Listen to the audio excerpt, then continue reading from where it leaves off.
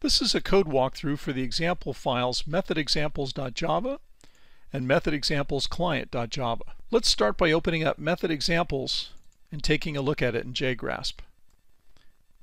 This file is simply a collection of small short methods. Here's one which adds up three numbers, given three integers as input.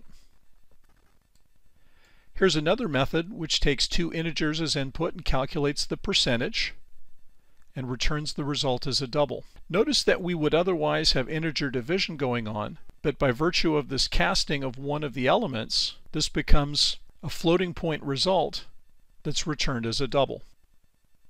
Here's a method which takes an input string and prints it out inside this bounding box of sorts.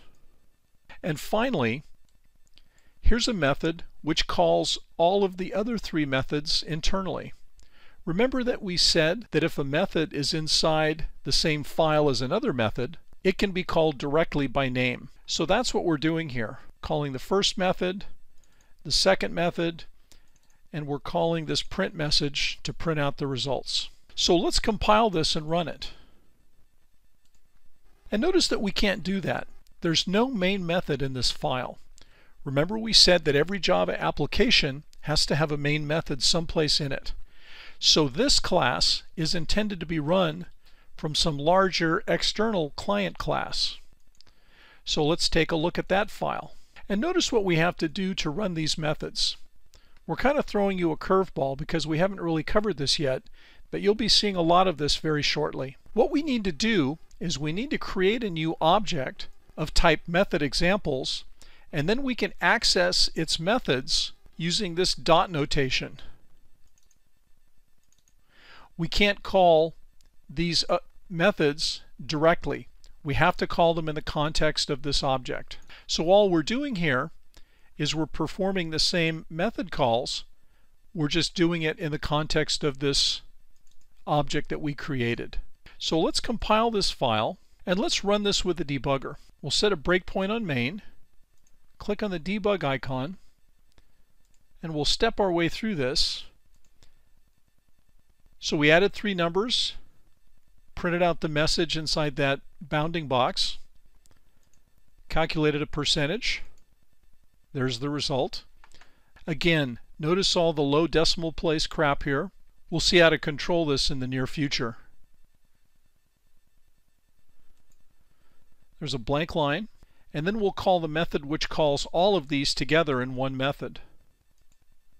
And we'll get the same result in one step. So let's finish this up and let's run through it again, only this time we'll use the bent arrow and step into each of these methods. So we're going to drill down now into the other file. We're adding up the three numbers and returning the result.